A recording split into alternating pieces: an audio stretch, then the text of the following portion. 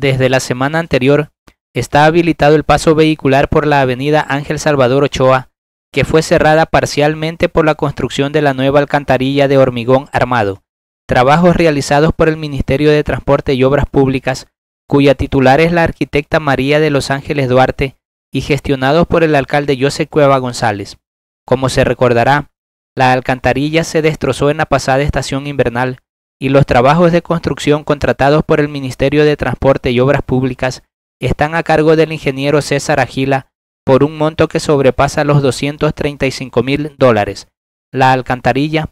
tiene una longitud que sobrepasa los 120 metros. Se inicia desde la avenida Ángel Salvador Ochoa, se prolonga por la avenida Francisco Carrión hasta el río Piñas.